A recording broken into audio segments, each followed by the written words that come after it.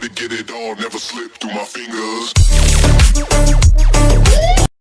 hey everyone welcome back on the channel. Welcome back to another episode 3 video. Today we are back with uh, wukong benchmark tool. So for those who don't know that uh, wukong benchmark tool is uh, now free to download on steam. Like uh, you can download this copy of this benchmark tool on uh, steam. You can just search it here wukong and you will see this black myth wukong benchmark tool. It is free to download. Uh, this is a good move from the developer like uh, you can get a overview of the performance about the game the visuals and then you can decide if you want to buy it or not. So yeah it's beneficial for both like for the developers and for the customers also. So yeah this uh, game and the benchmark tool already have FSR 3 but uh, the limitation is you can only use the frame generation uh, with the FSR upscaler. So when you are using the DLSS upscaler you won't be able to use this uh, frame generation. So yeah today we're going to decouple that uh, frame generation and uh, upscaler. So yeah let's begin this video without any delay. So first of all you will see two zips here uh, Wukong benchmark FSR 3 for AMD and GTX and Wukong benchmark FSR 3 for RTX so I'm going to show it for the AMD and GTX and RTX users. I'll just uh, show the zip and tell the method right now. So you can see here some files. You just need to paste these files and then enable driver signature and run the game. But for AMD and GTX it is little bit different. So yeah let's follow me.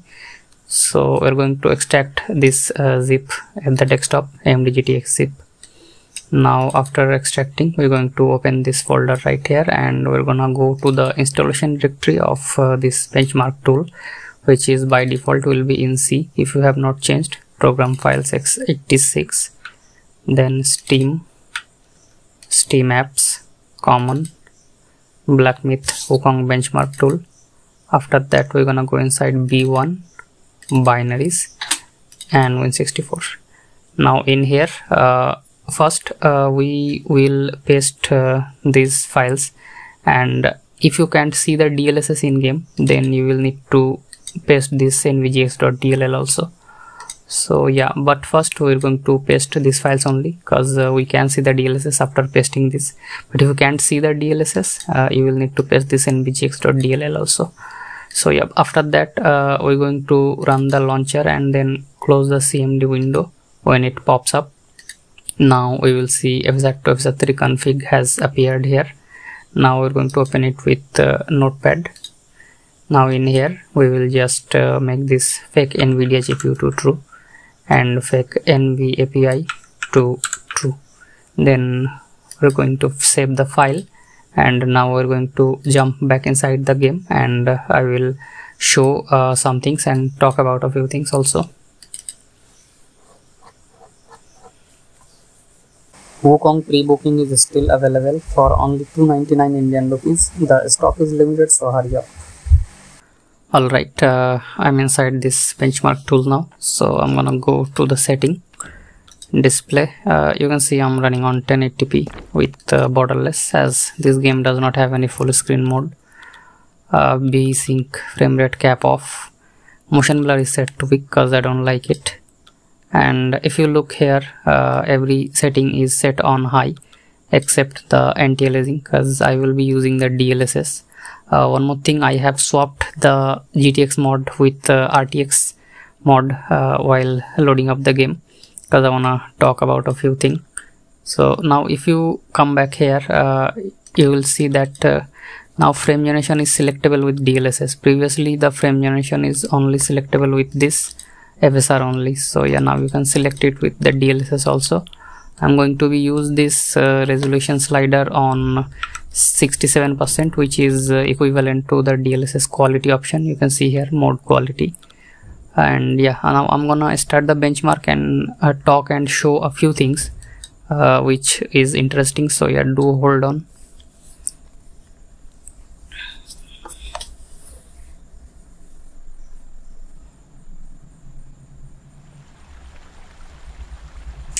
alright the game's benchmark has started. Uh, this game does look beautiful. Like I have not turned on the ray tracing yet. The game is looking beautiful. Uh, you can see the current fps value of the engine here.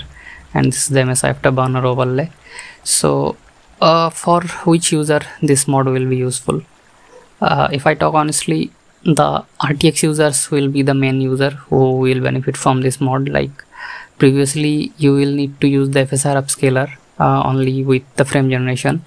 So now you can use the dlss uh, upscaler along with the fsr3 frame generation because it have been now decoupled. You can see all the texture here all the uh, details. They are being now rendered with the DLSS because I have swapped the mod in between. Don't worry AMD and GTX mod will also work fine.